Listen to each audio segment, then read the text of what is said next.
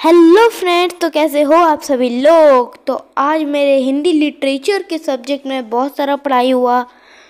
और ये देखिए कितना सारा पढ़ाई हुआ और हमें एक एक्टिविटी भी मिला था। जिस एक्टिविटी में हमें डिफरेंट टाइप्स ऑफ़ नेस्ट चिपकाने थे, लगभग पाँच तो चिपकाना ही था। तो मैंने थोड़ा सा डेकोरेट किया और इन्हें पेस्ट कर दिया है। कुछ आप लोग देख पा रहे होंगे। और हमारे घर में तो एक रियल घोसला भी है, बुलबुल का। हम्म। और इनके अंदर बहुत प्यारे प्यारे बच्चे भी हैं और मैं अभी इन्हें थोड़ा छेड़ना नहीं चाहता इसलिए दूर से ही दिखा रहा हूँ और बहुत प्यारे हैं। क्यूट हम्म, क्यूट आप लोग देखिए।